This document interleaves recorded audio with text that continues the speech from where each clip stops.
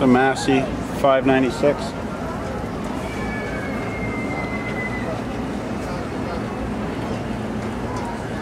Has the 1070 loader.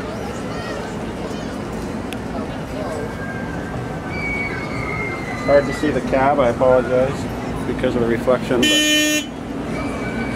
there's the hitch.